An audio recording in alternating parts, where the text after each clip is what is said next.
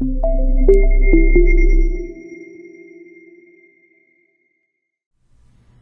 name is Alistair Lee. In this short video, I'm going to show you how to apply a custom background image to your Adobe Connect meeting room. I'm here in a default Adobe Connect meeting room, and as you may be able to see behind me, in the background we've got the default gray background. Now this works well, it's very neutral, but it's nice to be able to customize your room and add a little personalization with your own images.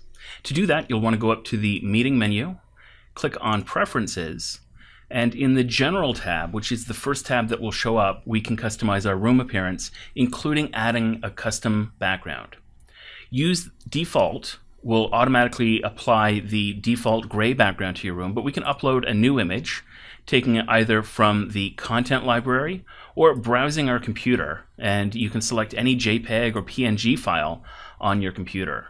I'm going to select this uh, maple leaf image that I've taken, click done, and that will be uploaded to the background image for my Adobe Connect Room. Now, in addition to using the image itself, we can also align it. And this works really well if you're using a logo as part of your background image. I'll show you what will happen. When I click done here, we can see that image has been applied. I've got the Adobe logo in the bottom right hand corner of my image. But not everybody is using the same resolution as I am.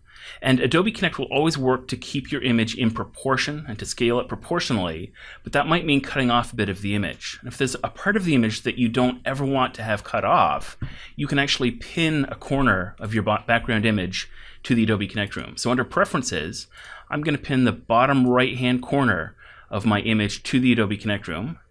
And that's the corner that I've got the Adobe logo in. And so now you can see anytime I resize it, that resizing will always keep the Adobe logo.